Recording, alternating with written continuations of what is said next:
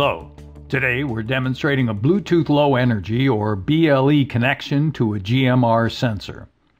BLE is ideal for wireless sensor links for industrial control or security systems. For this demo, we're using a Blueduino board which consists of a Texas Instruments BLE system on a chip and a LilyPad compatible Arduino microcontroller.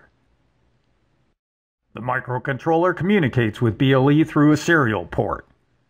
We could use a variety of sensors, but for this demo we're using an AAL004-10E, which is a small sensitive analog magnetic sensor.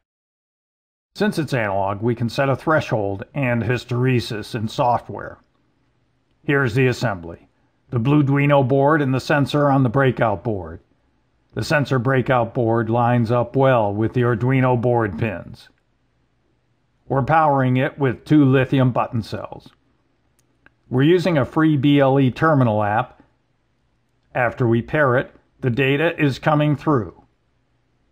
The sensor output increases as we move the magnet closer, and the micro determines a digital output based on a programmable threshold and hysteresis.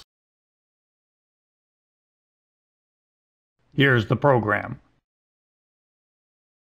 We read the sensor, scale and round the output, convert to strings, and write the sensor output as well as the calculated digital output to the BLE module.